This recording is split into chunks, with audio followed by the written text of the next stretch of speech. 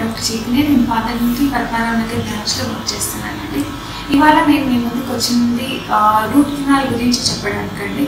So పన్ను పుచ్చిపోవడానికి చాలా కారణాలు ఉంటాయి. ఆహార పదార్థాల వల్ల బ్రష్ సరిగ్గా చేసుకోకపోవడం వల్ల. ఇది హెల్తీ టూత్ అండి. టూత్ అనేది ఇట్లా ఉంటుంది. సో దీనికి పైన ఎనామిల్ అనేది ఉంటుంది. లోపల ఇట్లా అన్ని లేయర్స్ అనేవి ఉంటాయి. సో ఇన్ఫెక్షన్ ఎప్పుడైతే ఎక్కువగా ఉంటుందో అప్పుడు రూట్ కెనాల్ చేయాల్సిన అవసరం పడుతుంది. ఇన్ఫెక్షన్ తక్కువగా ఉన్నప్పుడు క్లీన్ చేసి ఫిల్లింగ్ చేసుకుంటే సరిపోయే అవకాశం ఉంటుంది.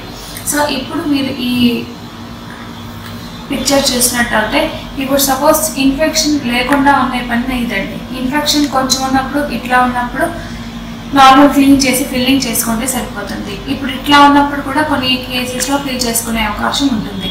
ఇన్ఫెక్షన్ ఎప్పుడైతే నరాలు రక్త కణాలు లేయర్కి రీచ్ అయిపోతుందో అప్పుడు మనం రూట్ కెనాల్ అనే ట్రీట్మెంట్ చేసుకోవాలండి. రూట్ కెనాల్ అంటే చాలా సింపుల్ ప్రొసీజర్ అండి. రూట్ కెనాల్ అంటే ఫస్ట్ ఇనీషియల్గా మనం ఇట్లా క్లీన్ చేయడం జరుగుతుందండి.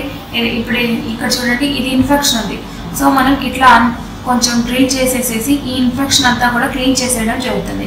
ఇన్ఫెక్షన్ అంతా క్లీన్ అయిపోయిన తర్వాత ఈ లోపల మనం ఫిల్లింగ్ అనేది పెడతాం ఫిల్లింగ్ పెట్టిన తర్వాత ఆ పన్నుకి క్యాప్ చేసుకోవడం అనేది చాలా important.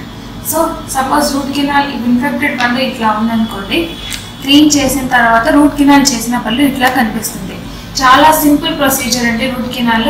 Single sitting root canals కూడా అవైలబిలిటీలో ఉన్నాయి. లేజర్ అనే అడ్వాన్స్ టెక్నాలజీ కూడా మనకి రూట్ కెనాల్ ప్రొసీజర్స్లో ఉన్నాయి ఇప్పుడు. సో ఆధునిక దంత వైద్యంలో లేజర్స్ అనేవి చాలా కొత్తగా నిర్వహించారు. సో దీని వాడకం వల్ల ఇన్ఫెక్షన్ అనేది మొత్తం తొలగిపోవడానికి అవకాశం ఉంటుంది. సో ఇదండి రూట్ కెనాల్ గురించి. Thank you Pantareddy